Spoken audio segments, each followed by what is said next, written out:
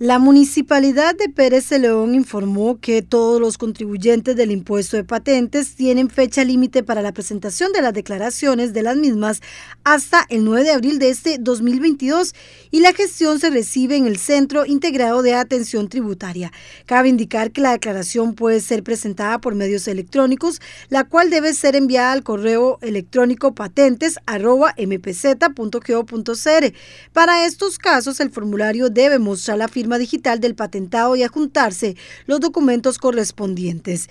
Además, si usted requiere ir en la atención a este centro, el horario es de lunes a jueves de 8 de la mañana a 5 de la tarde y los viernes de 8 de la mañana a 4 de la tarde. Si usted tiene alguna duda o alguna consulta, puede llamar al número telefónico 2220 6697, también al 2220 6698.